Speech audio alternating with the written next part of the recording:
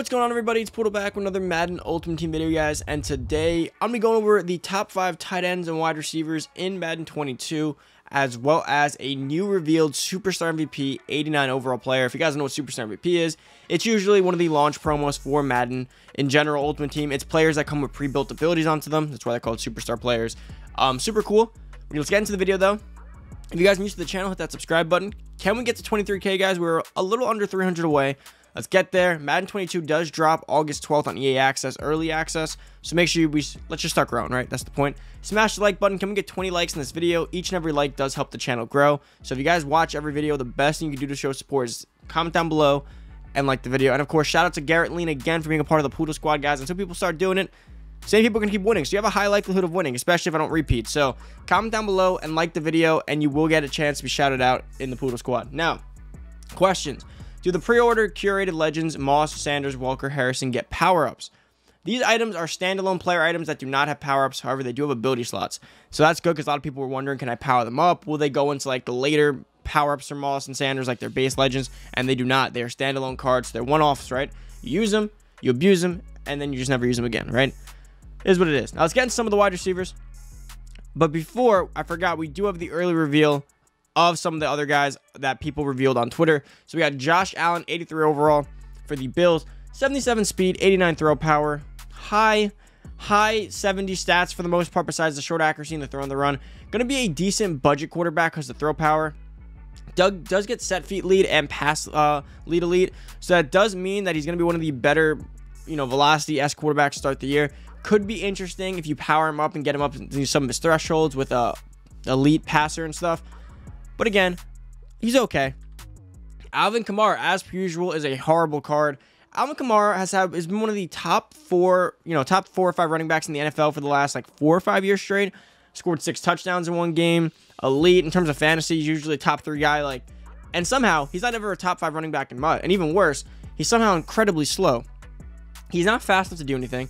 See, if you compare him to like the other running backs, Kamara, I mean, Kamara versus CMC, right? CMC's faster, better excel, better agility, better carrying, better catching, better change of direction, better break tackle.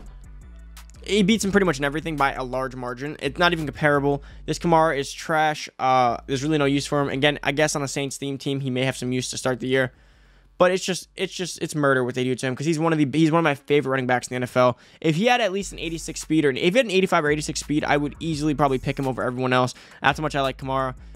But he does get a RB Apprentice, so if you take that with a grain of salt, if you do like RB Apprentice and you can't afford CMC, Kamara could be your guy. Devin White, middle linebacker, is actually faster than Kamara, which is just BS, complete BS. 85 speed, 85 excel, 75 strength, 82 tackle, 80 play rec. We got 76 block shot, 80 hit power, 70 zone. It still remains to be seen how useful linebackers will actually be this year because last year they were completely just written off by the MUT community. If they're not useful, then disregard this card. If they are, Gonna be one of the fastest linebackers day one with the power up, of course. 86 speed off the ropes gonna be pretty good, as well as good tackle, pretty good hit power. Block shots decently up there, 76 for the beginning of the year. Gonna be an overall great middle linebacker with some height as well. Now about Julio Jones, one of the newest wide receiver reveals. 84 speed, 87 jumping, 84 catching, 84 catching traffic, 84 spec, 84 short, 83 medium, and 80 steep route running. Gonna be a modest route runner, modest catcher. He's gonna be an all. He's like Kamara super well-rounded, can do a little bit of everything, but I don't think he's going to be a usable wide receiver because simply because we have Ja'Marr Chase, 91 speed, Tyreek Hill, 89 speed, Lance Alworth, 88 speed, Devonta Smith, 87 or 88 speed. It's just like right there, that's your top four wide receivers in the game. And then you got Davante, who's literally the same speed as him, but just better route running and better catching. I don't think Julio's going to be a top wide receiver this year unless he gets some good, like, a uh, Superstar MVP card, uh, you know, um, kickoff card. Moving on. DeAndre Hopkins. Again, compare him to Julio. Both have 84 speed, but look at the catching differences. DeAndre is already like in the dark greens for that, and the spec, and the route running's better. He's just a, he's a better version of Julio. Slightly smaller though. I believe Julio is a physical archetype, which again, not not exactly the greatest, but is what he is. Considering his next gen stuff, he's supposed to be these heights and stuff are supposed to make him better at catching certain things, so that could give Julio an edge. But 84 speed is just too low. DeAndre Hopkins will only make it work because of his catching, but still, I don't think Hopkins is all that great either. Tyreek Hill probably going to be the second or even third best wide receiver to start the year, depending. And there's some some players don't even know about, which is weird because Tyreek's always the clear cut number one. And I actually think his power might be overrated to start the year. It might end up being like 100k again. all for Ja'Marr Chase and some other MVP card or a legend to come out and just completely overtake him. So, you know, be careful investing highly in Tyreek Hill off the rip. Again, he's still going to, all, all year long, Tyreek Hill's going to have long term value. But I think off the rip, people might overrate his, you know, his price and stuff because it's Tyreek Hill. But if he is cheap, take advantage because eventually, you know, Ja'Marr Chase isn't, that's not going to be a power upable card. You know, so Ja'Marr Chase is pretty much done after that card. He has to start getting regular cards, which will be fast, of course, but I don't think he'll get as many upgrades as a Tyreek Hill unless he has some crazy rookie year. And same thing with like Lance Alworth. Like Tyreek Hill is gonna be the guy that gets those crazy speed upgrades all year. So don't don't discount him, but know that you could probably get a good value for him early in the year once people realize that there's other options. But he's pretty good with it. You know, powered up, he gets the 90 speed, 90 deep route running. Gonna be a great card to start the year. Travis Kelce, one of the tight ends in this top five here. Kind of trash. I mean, 81 speed. Short and medium are really good, but 81 speed does not cut it at all. I'd I'd much rather take Pitts with an 88. It's just it's a no brainer at, at all. I mean, that speed is just different for a tight end to start the year. Travis Kelce's way too slow, and it's just it's a no brainer to me. Uh, medium and short are good, like I said. Catching's pretty good. Run block's a little bit low. Doesn't even get that. Then we have Davante Adams, who I actually think out of Julio and Hopkins, of course, is the best one. Because, see, with Julio, routes aren't crispy enough. So he's going to be more of a go deep kind of receiver. And with that speed, he's really going to have to contest everyone. I don't feel like throwing up contested catches all game. Same thing with Hopkins.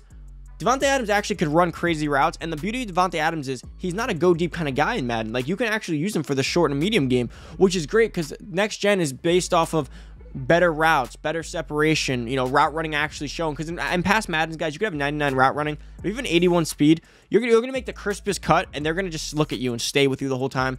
This year, good route runners actually, like in real life, Davante gets separation in his space off of his ability to separate from people, not because he's the fastest.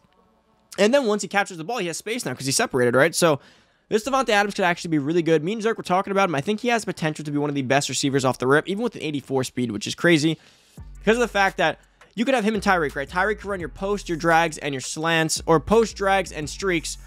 And then Davante could run your ins, your out routes, your you know your post digs, your special routes, and do all the stuff that requires separation. He could probably get that done. Powered up and chemmed up, he could end up with above 90 short and medium route running off of the rip. Could be crazy on the goal line in a you know a, a power heavy situation where you, they're, gonna, probably run commit or put Davante one on one and just let him crisp someone up. So.